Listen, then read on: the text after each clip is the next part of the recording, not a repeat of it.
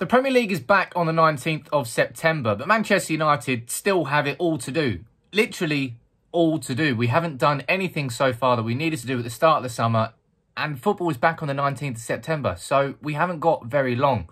So it's a big month of decisions ahead for Ole Gunnar Solskjaer and for Manchester United. I'm going to run through that list of things that we need to do in this video.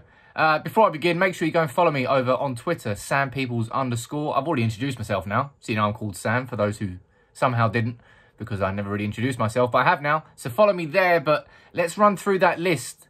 And of course, the first name on that list is Jadon Sancho.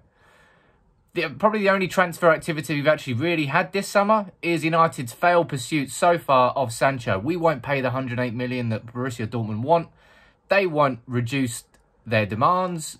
It's left a stalemate. The transfer has stagnated. It was seemingly moving quickly and now isn't moving whatsoever. So United have to make a decision. Either we pay the money for Sancho or we look at alternatives because we've been linked to other players.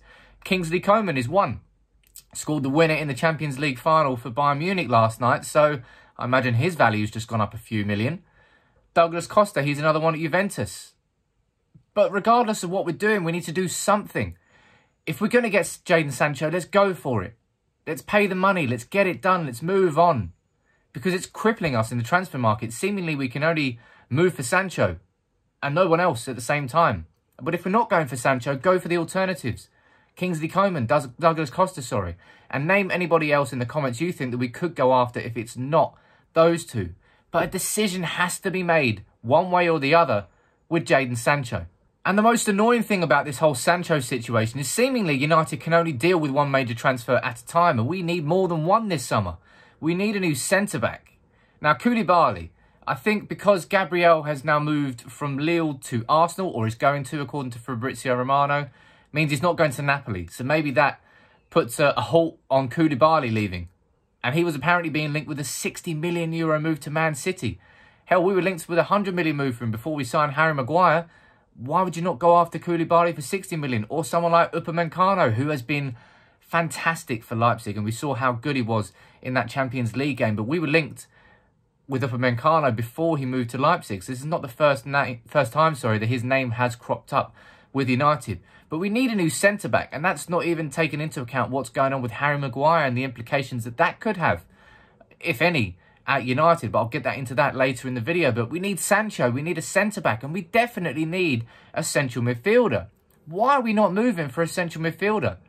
Look, Scott McTominay and Nemanja Matic, I don't think as a duo are good enough to get United to the Champions League final and to win the Premier League, which has to be our goals next season. And it's not as if we're going to achieve them completely, but they have to be our goals. And then you've got Thomas Partey, he's about 50 million. He's got a release clause at Atletico Madrid and pay it if you want to sign Thomas Partey 50 million. But if not him, Thiago Alcantara. Was he mad at the match in the Champions League final? People would argue that. He's leaving Bayern Munich and 30 million is his price. And he's being linked with a move to Liverpool and no one else is going in for him. Why would United not go in for Thiago? And then you've got, I don't know, Saul from Atletico Madrid. You've got Van de Beek, who we could have easily gone for. But now that Ronald Koeman is manager of Barcelona, it seems that if he is going to leave Ajax, it's more than likely that it's Barcelona is going to be his destination. Had United acted earlier, I mean, you could say that about any transfer with United. Had United acted earlier, we probably could have got him. But Van de Beek, maybe he's not on the cards anymore. But that's central midfielder. Equally as important as a new centre-back. Equally as important as a new right winger in Sancho or Costa or Coman. But nobody at the moment. Absolutely nobody and with Liverpool signing players. City, Chelsea, Arsenal, Spurs, all the teams around us are strengthening while United are sitting here doing nothing. Decisions have to start being made. Simple as that. And we need signings in multiple positions. So just sitting here and wait. Look, because of the way that the fixtures have happened, we've got an extra week. The Burnley game's getting postponed and our first game is on the 19th instead of the 12th of September against Crystal Palace. That gives us an extra week. That genuinely might help us. I can see activity happening in that week.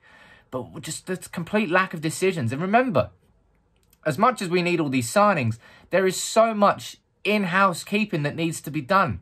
Harry Maguire is a problem that Ole Gunnar Solskjaer did not know he was going to have, but he now has. And the problem for Solskjaer is that he's made Maguire one of his centerpieces of this cultural revolution at United. And he's now been accused of being in a fight with police officers out in Greece, alleged that he hit a police officer, briberies being involved. Look, it's an open case that everything is alleged at the moment, and you can't go any further than that until all the facts come out. But that's not a problem that Solskjaer knew he was going to have, but he has to resolve. With the goalkeeping issues, is David De Gea going to be United's number one next season? We still haven't had that resolved. Henderson is on the verge of signing a new contract. Sheffield United have signed Aaron Ramsdale, or are going to they're already planning without Dean Henderson next season. So does that mean that Henderson at United next season competing with De Gea? Does it mean De Gea might be sold and Henderson's going to be on number one? Tons of questions, not much time to resolve it. And then you've got players who could leave Manchester United. What is happening with Jesse Lingard?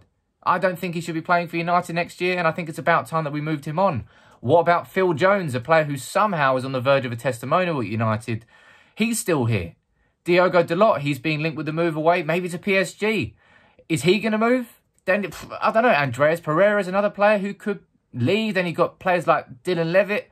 You've got players like James Garner. They could go on loan. There is so much that needs to be done at United. And because we haven't done anything so far since the end of the Premier League season or the end of our Europa League campaign against Sevilla, we've just sat and waited and waited and waited and waited until the point now it's the 24th, I think, of August.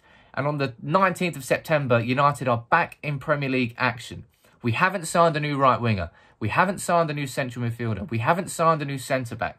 We haven't resolved the Maguire situation. That's relatively new, so that's ongoing. We haven't resolved De Gea or Henderson's situation, or Pereira's or Dalot's, or any other player that could and should be sold by United this summer. I just don't understand why we like to do this to ourselves when we don't really have to. If we acted swiftly and decisively, then we wouldn't be in this situation. And unfortunately, that's what happens when you've got Ed Woodward and Matt Judge in charge of negotiations because a negotiation that could be done quite quickly and, and relatively straightforward in terms of the price that you pay, it's drawn out. It's painful and it's long and it, it's it's it's everything has to become a saga with United. It's never just a clean cut transfer.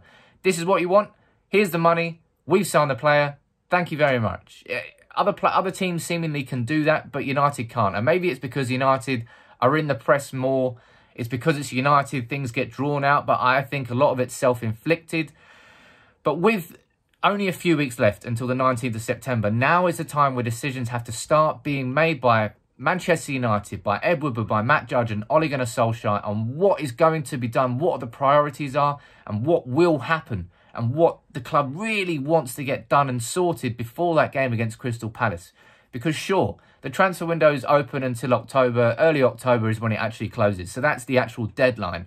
But as we've seen with Bruno Fernandes, by not signing him in the summer and signing him in January, we missed out on months of having Fernandes helping this squad. So why do the same thing, even if it's only a matter of weeks? Why do the same thing with these key signings? Get them done early is always the mantra every summer. And that's the one thing that we don't do. And uh, that's one thing that we clearly haven't learned from. And clearly, we're making the right signings now in Bruno Fernandes, in Wan-Bissaka, in Harry Maguire. I do still think is a very good signing. I still want more from him. I still think he needs a partner. Dan James, question marks after what was a brilliant start. But we're making signings for the right reasons rather than just signing marquee players like Di Maria and Falcao and just players who did not work out or Sanchez because we bought them for the wrong reasons. But now we're just not buying anybody at all. But let me know how you're feeling about the month ahead because it's frustrating. It really is. But United are doing the same problems again. Let's see if things change. As I said before at the start of the video, make sure you follow me on Twitter at sampeoples underscore. Follow us on Facebook too. Uh, Facebook.com forward slash the people's person. Lots of videos and debates and conversation on there. Make sure you drop a like on the video. And if there's any other videos you want me to do, let me know in the comments too. Until next time though. Take it easy.